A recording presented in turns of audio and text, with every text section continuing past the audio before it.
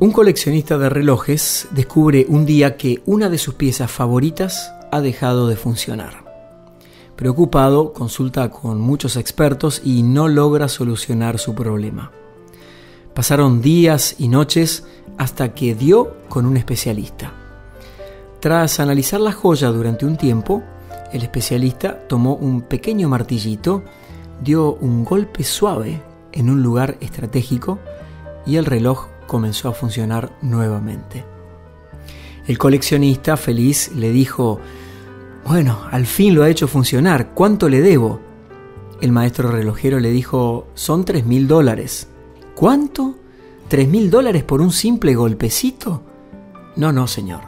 El golpecito cuesta un dólar. Saber dónde golpear, 2.999 dólares.